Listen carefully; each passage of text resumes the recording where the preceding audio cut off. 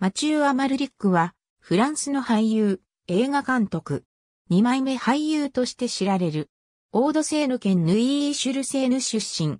父親は、フランス人のルモンド紙の記者。母親は、ユダヤ系ポーランド人の文芸批評家。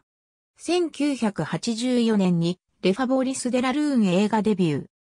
1996年公開の、そして僕は恋をするや、犯罪の系譜で人気を博し、前者の作品で、セザール小有望若手団優勝を受賞。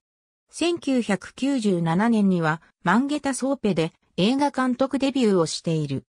2004年公開のキングスクイーンと2007年公開の潜水服は蝶の夢を見るで、セザール賞主演男優賞を受賞。潜水服は、蝶の夢を見るはアカデミー賞に4部門でノミネートされ、アメリカでも彼の名が知られるようになった。近年はアメリカ映画にも出演しており、2005年公開のミュンヘンの情報やノルイや2008年公開の007シリーズ第22作目007慰めの報酬の悪役ドミニク・グリーンを演じた。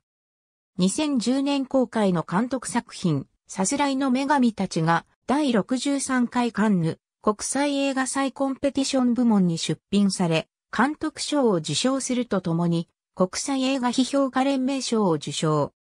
私生活では元妻の女優兼歌手、ジャンヌ・バリバールとの間に男児が二人、同棲していたガールフレンドの作家との間にも2007年生まれの息子が一人いる。2015年以降、カナダ人、ソプラノ歌手、バーバラ・ハンニガンと交際している。ありがとうございます。